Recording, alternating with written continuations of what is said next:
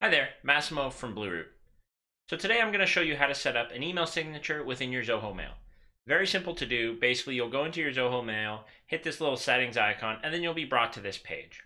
Now, this page has a lot of data on it, so what you can quickly do is type in signature up here, and I'll show you what happens. And it'll pop up add new signature. So when you go here, you'll see some signatures. So you can add a new one. So I'll call this like business signature. You can put whatever you want in here, and just like you think, you can put text.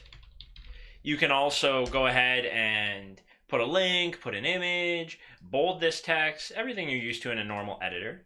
And then you're actually going to add which email address you want to send this from. So I'm going to go ahead and say from my main address, and then hit save.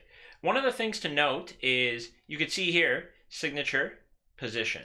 So you can choose to put your signature above the quoted text or below the quoted text. So that's basically inside of your email content.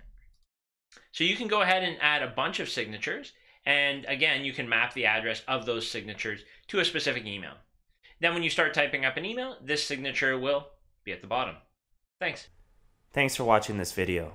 Please be sure to subscribe to the channel and leave any comments in the section below.